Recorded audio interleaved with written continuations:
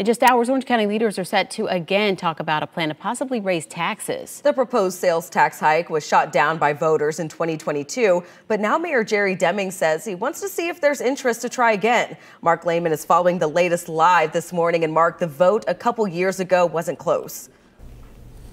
Yeah, that was in 2022. The measure needed 50% plus one vote to pass, but only secured 42% of the vote. Now, 58% of voters, meanwhile, rejected the measure. Now, Mayor Demings says there are a number of factors that led to this result and wants to explore giving it another shot this year. The issue of transportation is set to be back up for discussion in Orange County. This as Mayor Jerry Demings is calling for a talk with commissioners to pursue another effort to pass a transportation sales tax. And so if we don't get after it in the very near future, our roads are going to be clogged. We're going to have all types of traffic congestion. For years, Demings has backed a penny sales tax plan he says would fund road improvements, create mass transport, and expand Sunrail and LYNX. The measure was rejected by voters in 2022, but the mayor says that was because of factors like inflation, a rise in housing costs, and the impact of Hurricane Ian.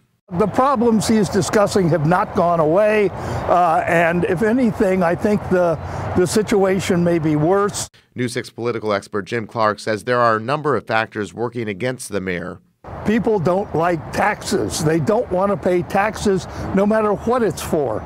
And he says the measure might not even make it to voters this time, something to be talked about when commissioners meet this morning. Especially in an election year, there are going to be a lot of controversial issues, and I'm not sure they want one more controversial issue on the ballot. As for what's happening this morning, this is only an initial discussion uh, exploring the possibility of engaging interest of putting a penny sales tax on the ballot uh, this year. Now, that discussion gets underway when commissioners meet at 9 a.m. For now, reporting live in the newsroom, Mark Lehman, getting results, News 6.